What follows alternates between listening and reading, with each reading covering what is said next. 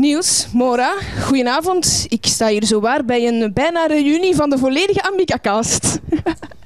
Ja, we mogen een feest vieren hè, vanavond. Het is reunie en eh, niet onbelangrijk met de mensen die ermee voor gezorgd hebben dat Amica zo mooi voor is geworden, de fans. Hè. Dus dat waren ooit kinderen, dat blijken nu volwassen mensen te zijn die bier drinken, eh, die op de parking staan te roken en die allemaal kaart gaan meezingen, blijkbaar.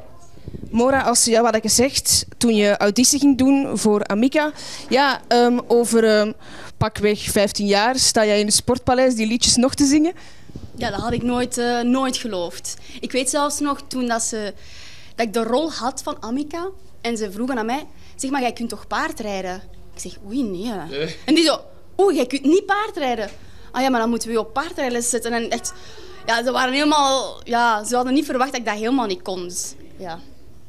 Want jullie waren ten tijde van Amica eigenlijk allebei nog redelijk jong. Hè? Hoe hebben jullie dat toen ervaren? Uh, redelijk jong is een understatement. Uh, Mora was 15. Wat was dat, was dat eerste ding?